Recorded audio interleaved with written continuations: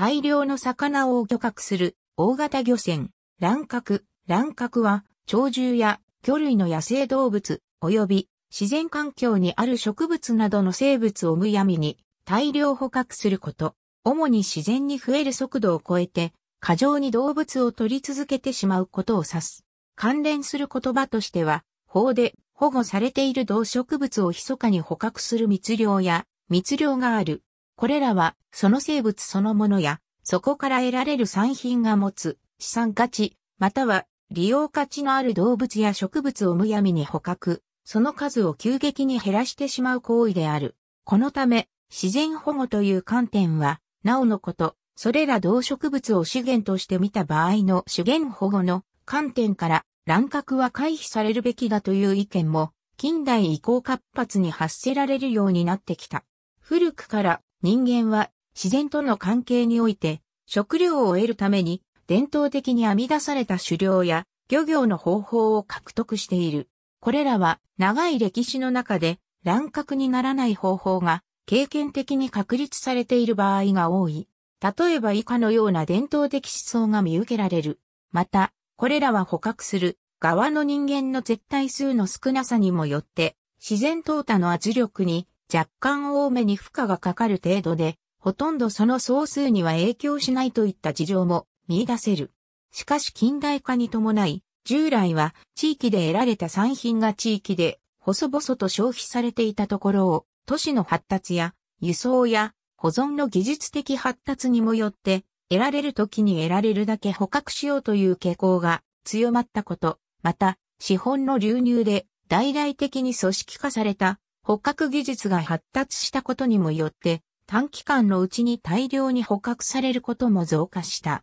加えて、工業の発達は食料資源だけではなく、それら動植物から得られる様々な産品を加工して利用する文化も発達し、それらを工業原料として大量に必要とした。こと産業革命によって人間は大量の物資を消費することを始めたのである。この時代よりは都市部で増大する食料需要にもより海洋資源である魚介類を効率よく捕獲する方法も発達するようになっていった。こうして産業として大々的に捕獲されるようになると中には自然の回復力を超えて捕獲される種も増え、急激にその数を減らしていった。まして元より個体数の少ない動植物では、その希少価値にもよって、ますます積極的に捕獲が進んだ。こうして19世紀から20世紀に入るまでに、危機的状況に陥る動植物種は数知れず、中には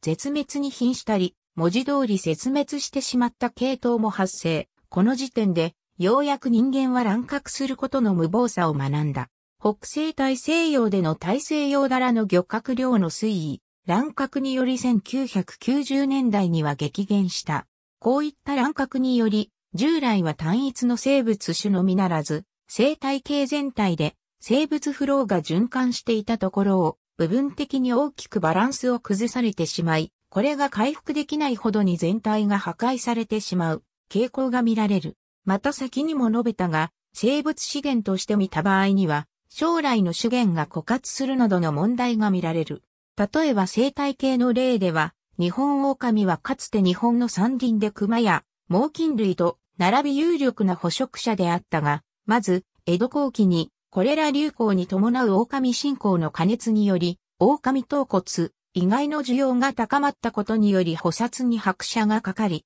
さらに明治後には日本の近代化に従い盛んになっていった牧畜の被害が出たことなどから徹底的に駆除され、明治期には重機も普及した。また狂犬病やジステンパーなどが流行し、これらの要因が複合して絶滅に至ったと考えられている。結果的に捕食者を欠いた日本鹿や日本猿などの増加は山林の開発による生活環境の縮小にも伴い、近隣農村で無視できない被害を出しているほか、増えすぎた日本鹿は自然林の荒廃を招く一因ともなっている。一方の資源問題では、象牙の例がよく知られている。象牙は象の牙であるが、加工性に優れ独特の風合いもあって、他に得難い工業原料となった。このため乱獲された象は、急激にその数を減らし、元より長い寿命から急激に数が回復することを望めないこともあり、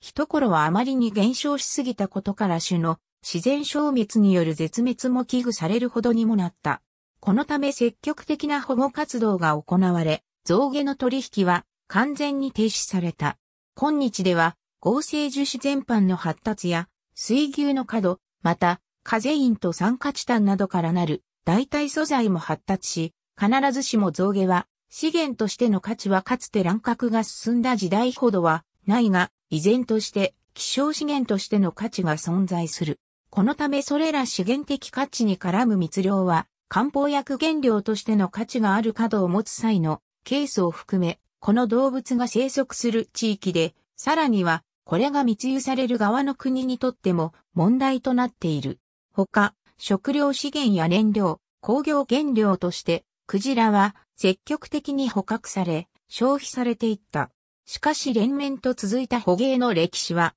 産業化されて以降に急速にその技術が発達、需要の増大にも絡んで過剰に捕獲してしまうようになり、数世紀にも及ぶ捕鯨産業は20世紀に入って資源保護の観点もあって国際的にほぼ全面禁止され、調査捕鯨や少数民族の伝統捕鯨以外は行えないようになった。チョウザメ美食として名高いキャビアやチョウザメの肉は極めて高価な価格で取引されている。しかしチョウザメの生息域に位置するロシアでは経済マフィアが絡んでの密漁も横行、環境汚染もあって急速にその数を減らしている。このため WWF ロシア支局は2006年1月に異例のキャビア消費自粛を訴えるキャンペーンを行っているほか、同年にワシントン条約事務局がカスピ海産キャビアの国際取引を当面禁止した。なおこれは天然産のものに限り、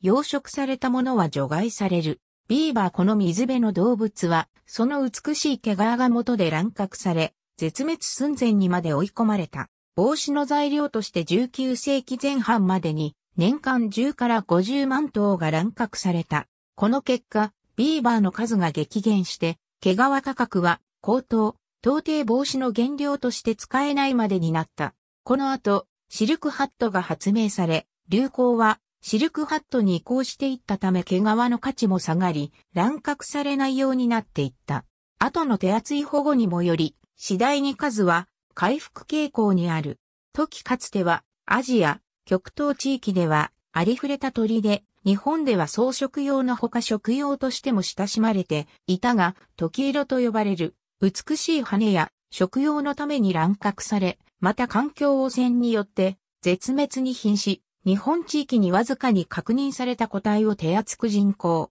繁殖しようとしたが失敗、後に絶滅していたと思われていた中国奥地で群れが残っていることが確認されたが、日本の時は絶滅した。現在は中国で確認された群れの保護と繁殖が進められている。日本では日本産時で培った飼育技術を活かし、中国産時の人工繁殖を進めている。キャビア消費自粛キャンペーン。ありがとうございます。